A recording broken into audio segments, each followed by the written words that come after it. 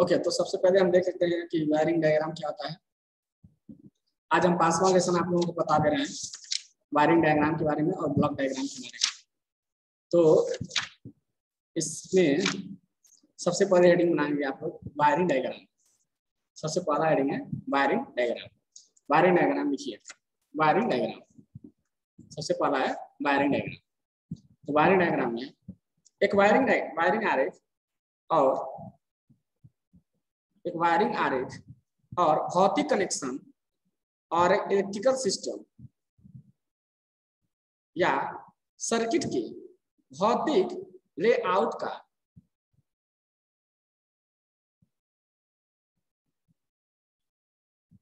Circuit के भौतिक layout का एक सरल दृश्य प्रतिनिधित्व है। दृश्य प्रतिनिधित्व है। यह दर्शाता है कि यह दर्शाता है कि इलेक्ट्रिसिटी तार आपस में जुड़े हुए हैं। जुड़े हुए हैं। और यह भी दिखा सकते हैं कि जुड़नार और कंपोनेंट सिस्टम से कहा जुड़े हो सकते हैं। सिस्टम से कहा जुड़े हो सकते हैं। तो जो एक फ़िज़िकल दृश्य होता है, जो एक सर्किट का फ़िज़िकल जो दृश्य प्रतिनिधित्व करता है, उसी को हम वायरिंग डायग्राम वायरिंग डायग्राम की ज़रूरत क्या? वायरिंग डायग्राम की ज़रूरत क्या पड़ी? चलिए एक एग्ज़ाम्पल लेकर हम समझा देते हैं आप कि वायरिंग डायग्राम की ज़रूरत क्यों पड़ी। चलिए, एक वायरिंग एक, क्या बोलते हैं? एक हम समझा दे रहे हैं एक, वो एग्जांपल लेकर। कि वायरिंग डायग्राम आखिर में ज़रूरत क्या पड़ी वायरिंग डायग्राम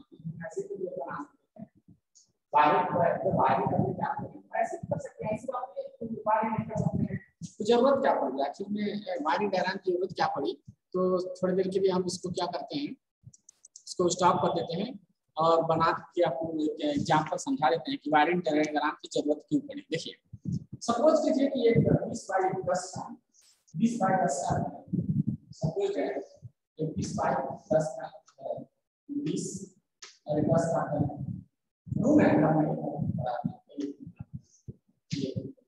अब देखिए इसमें अगर हम बनाना चाहें तो एक ऐसा नहीं है कि इसमें हम कई कई तरह से इसमें कर सकते हैं। अब ये तो या तो इसमें, देखिए अब इसमें या तो हम एक एक एक फ़ैन लगाएँ, एक फ़ैन लगाएँगे तो ये दिक्कत करेगा अब हम क्या करें? हमको सोचना है, क्या टॉपिक में दुकान करते हैं टॉपिक दुकान करते हैं। अब इसमें अगर एक फ़ैन लगा रहे तो ये दिक्कत है। दो फ़ैन लगाए तो सोचो सोचो कि एक फ़ैन लगाओ तो काम चलेगा। मान लो तुम बीच बीच में फ़ैन लगा और पंख यहाँ हवा में जा रहा तो क्या मतलब है इसके लगाने का? कोई मतलब नहीं। ठीक है? तो हम क्या करेंगे? इसको दो पार्ट में डिवाइड करें इसको दो पार्ट में डिवाइड करें ये 10 बाय 10 का स्क्वायर होगा। 10 बाय 10 का स्क्वायर रूम बन जाएगा ये 10 बाय 10 का 10 बाय 10 का बन जाएगा तो सपोज़ करो ये 10 का है ये 10 का है अब हम इसमें चाहें तो इसमें पंखा लगा सकते हैं आराम से अब सपोज़ करो कि वो कभी लगा सकते तो हो सकता है ऐसा तो लगा नहीं कर सकते लेकिन अगर उसको को चार लगाना है अगर हम चार लगाना है तो किस तरह से लगाएँगे तो यहाँ एक काम करेंगे यहाँ लगाएँगे फिर आपको एक बल्ब लगाना है यहाँ लगाना है फिर आपको एक साथी लगाएँगे यहाँ बटन लगाना है यहाँ बटन लगाना है है पंखा लगाना चाहते हो देखो पंखा लगा तो तुमको जैसे सुटेबल है अपने काम कर रहे हो सपोज़ करो चार पंखे लगा रहे हो तो यहाँ फुट बीच है फुट इधर से फुट इधर से फुट अब फुट से फुट से बीच दस फुट है तो यही फुट क्या तो फिर ये ये ये ये सोचने का जो तरीका है इसको हम वायरिंग डायग्राम में सोचे तो बिल्कुल बेटर रहेगा इसको हम डायरेक्ट ना करके, बल्कि अगर हम इसको ऐसे डायग्राम पर सोचते हैं तो ये हमारे लिए बहुत ही बेनिफिशियल रहेगा। ठीक है? तो इसीलिए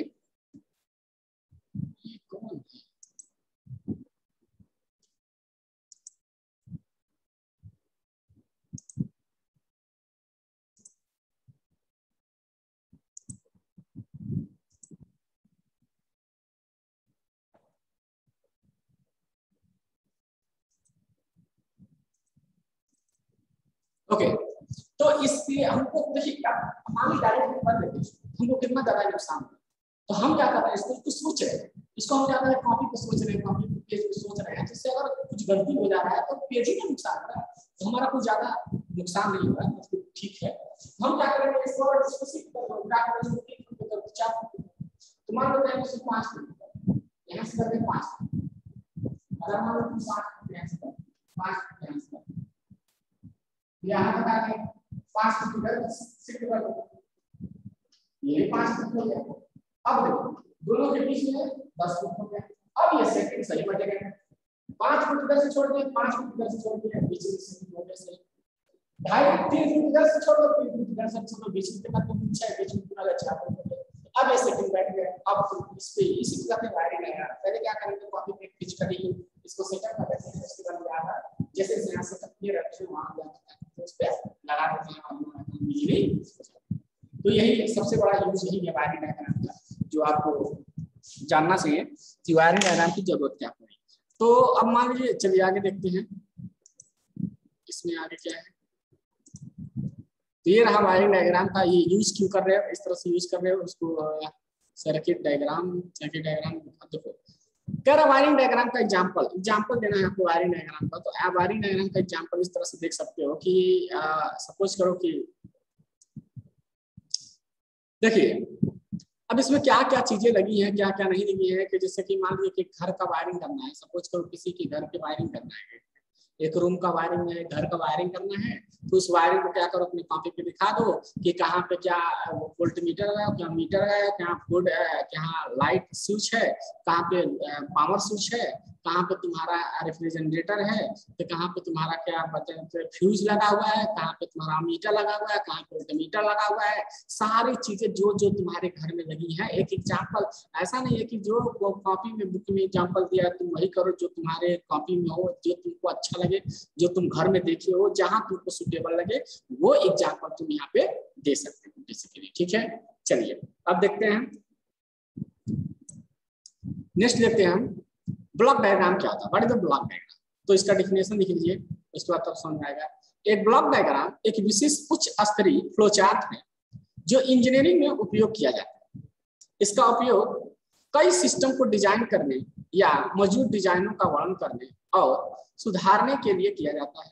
इसकी संरचना प्रमुख सिस्टम कंपोनेंट प्रमुख प्रक्रिया, प्रतिभागियों और महत्वपूर्ण कामकाजी संबंधों का एक उच्च स्तरीय अवलोकन अवलोकन प्रदान करती है। तो सिंपल सिंपल बात यह है कि ये एक प्रकार का फ्लो चार्ट क्या कह सकते हो ब्लॉक डायग्राम एक ब्लॉक डायग्राम एक विशेष उच्च स्तरीय फ्लो चार्ट है जो इंजीनियरिंग में यूज़ किया जाता है। फ्लो चार्ट का इन द सेंस की ब्लॉक डायग्राम का मतलब क्या है कि आउटपुट किया जा रहा है इनपुट किधर जा रहा है, ये सारी चीज़ें तुम्हारा करके अपना जो भी है रखते हैं। अब इसमें टाइप टाइप एंड यूज़ है जो आप लोग देख लेंगे, इसको हम बताएँगे नहीं। एक्चुअली यहाँ से क्वेश्चन बहुत कम बनता है, इसीलिए हमको इस पर फोकस कम करना है। हम सारा फोकस जो करना रहेगा वो जो मेन मेन चैप्टर है, जैसे टाइप ऑफ़ वायरिंग हुआ, जैसे सिंबल हुआ, जहाँ से क्वेश्चन आने हैं एग्ज़ाम में, वहाँ पे हम फोकस ज़्यादा रखेंगे और वो चीज़ें हम करा भी दिए जैसे टाइप ऑफ़ वायरिंग वगैरह हम करा चुके हैं तो उसको ज़्यादा आप अच्छे से देख लीजिएगा।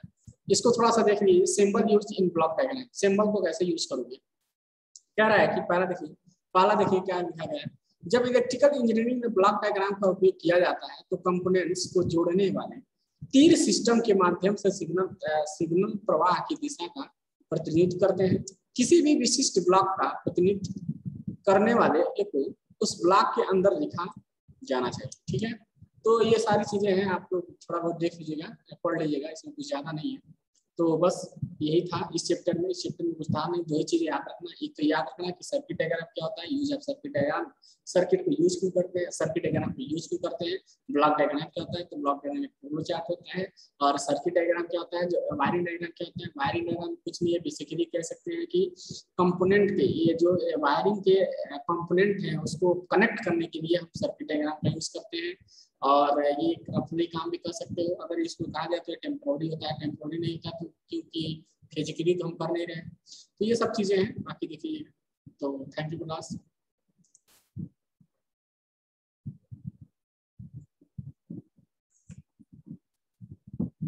आगे का हम, आगे नेक्स्ट नेक्स्ट वीडियो में हम आप लोगों को छठवें लेसन का एस्टिमेटिंग एंड कॉस्टिंग का करा देंगे। एस्टिमेटिंग एंड कॉस्टिंग का भी करा देंगे।